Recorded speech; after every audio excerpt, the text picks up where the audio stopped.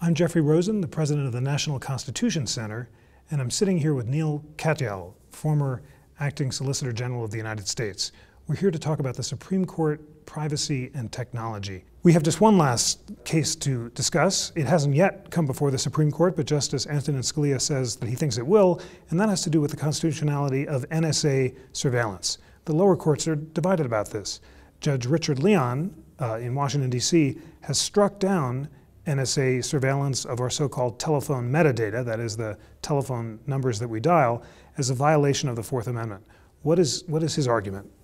Well, Judge Leon is right now in the kind of minority. I think there have been 16 different judges that have ruled on this, and every case has gone the other way. But Judge Leon has written an opinion that says that when the government collects telephone metadata, that it's not the content of the information, but rather the numbers that someone is calling, that that violates the Constitution.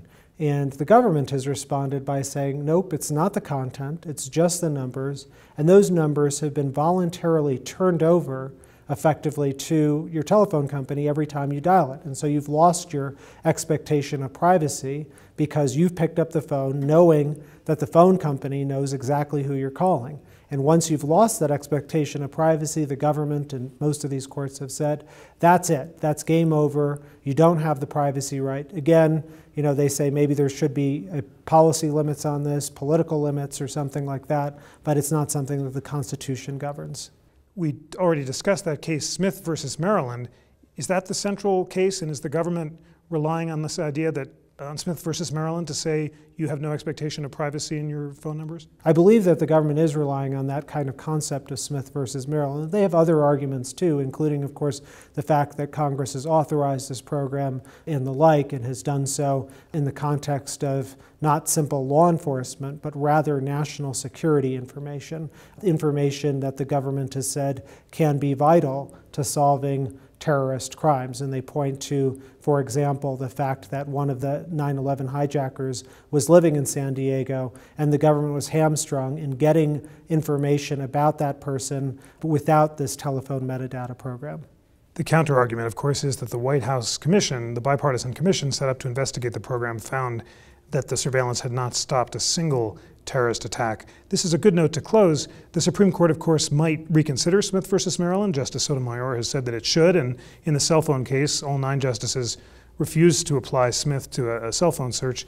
Obviously, we can't predict what the court will do, but how, what sort of thought process will the court go through as the various justices attempt to translate the Fourth Amendment into a digital age as they consider a case like NSA surveillance? Yeah, so I think the court, as we started, does take a more kind of uh, wait and see attitude, a go it slow attitude, because they're worried about what they don't know.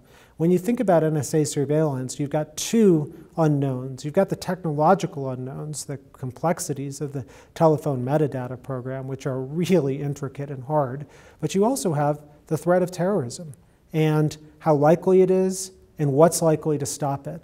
And the court's going to be uncomfortable of both of those realms. And so that's why I think it's going to take a while for the U.S. Supreme Court to rule on this issue, and certainly a long while before they rule definitively.